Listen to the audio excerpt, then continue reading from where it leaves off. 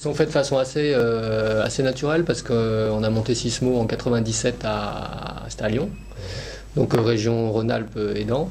Et puis euh, c'est marrant parce qu'on a vraiment suivi l'histoire du montage de la, de la Biennale en même temps que nous, notre montage de Sismo, parce mm. qu'au tout début, la première participation qu'on a eue à la Biennale, on était dans le off, c'était la première Biennale, et on avait fait nous-mêmes nos premiers petits meubles un peu bricolés dans notre cave.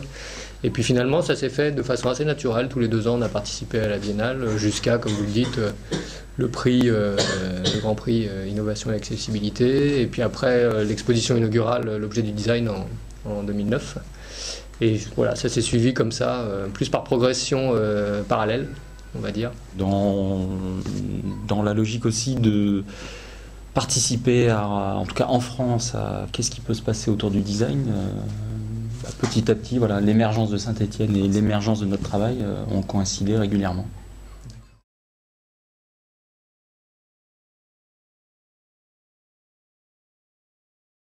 Le soir du vernissage de l'exposition inaugurale L'objet du design, euh, on rentre euh, pour, aller, pour aller dîner et on monte dans un tramway rempli de supporters.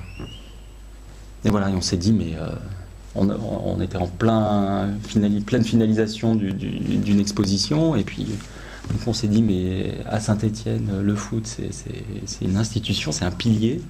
Euh, en même temps, en regardant les, supporters qui étaient là, on s'est dit mais comment comment on pourrait les faire venir?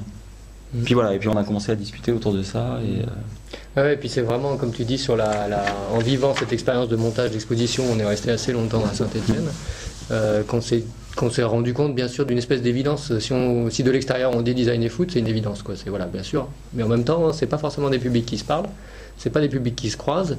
Et ce qui nous intéresse dans le rapprochement de ces deux publics, c'est euh, le travail qu'on fait depuis toujours sur le fait que le design c'est pas élitiste. Donc, eh ben, prouvons-le. C'était un peu ça, c'était un peu ce défi-là de dire, bah, si c'est pas élitiste, euh, ça veut dire qu'on va essayer de casser euh, les petites caricatures qui sont de dire, euh, les designers sont élitistes et ils s'intéressent pas aux autres, et les footeux sont des bœufs, sont des bœufs et, ils s'intéressent pas au design ou à autre chose, quoi.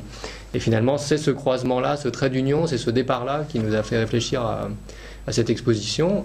Et après, passer le fait de dire Saint-Etienne, c'est le design et foot, euh, une fois qu'on est rentré dedans, on s'est dit, bon, si on va plus loin, euh, ok, mais euh, d'un point de vue d'une généralité, est-ce que ça marche? Est-ce que c'est vrai? Est-ce que le design travaille avec le foot? Est-ce que le foot s'intéresse au design? Et quels sont les liens qu'il y a entre les deux? Parce que ce sont des mondes qui, a priori, ont des, comment dire, des aspirations qui les tirent vers des points divergents. Euh, l'élitisme d'un côté, euh, quelque chose d'extrêmement euh, populaire et qui, génère aussi pas mal d'énergie dans, l'univers du foot.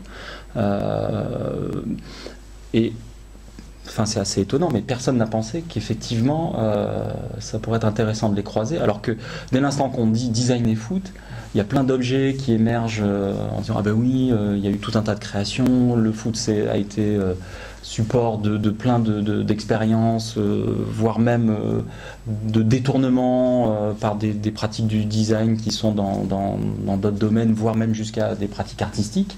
Et, réciproquement, bah, peu, de, designers ont eu la volonté d'aller explorer ce qui se passe dans, le monde du foot, alors qu'il y a des designers qui ne sont pas des stars, euh, qui travaillent sur, euh, des projets. Voilà. Et après, c'était de se dire, il y a déjà des choses qui émergent assez spontanément, et c'est de trouver un fil d'Ariane, euh, presque comme si, à un moment donné, on se disait, on pourrait presque imaginer que cette exposition ait deux entrées, une pour les designers, une pour les fans de foot, et qui vont faire un parcours initiatique mais où chacun va ressortir par l'entrée euh, et, qu'on voilà, qu'on se croise à un moment donné.